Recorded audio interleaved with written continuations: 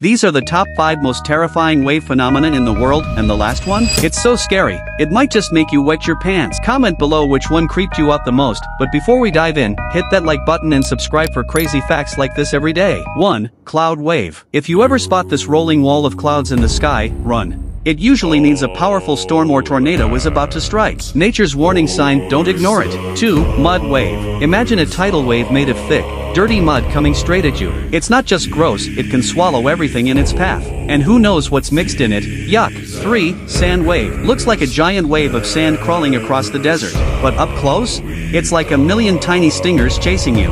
Super creepy. 4. Square wave. This weird ocean pattern looks cool, but don't be fooled. The crisscross waves create a deadly pull that can drag you underwater. 5. Ice Crystal Wave. Now this one is rare and beautiful, but deadly. A sudden wall of freezing air and razor-sharp ice particles that can freeze and cut through anything. It's nature's icy blade.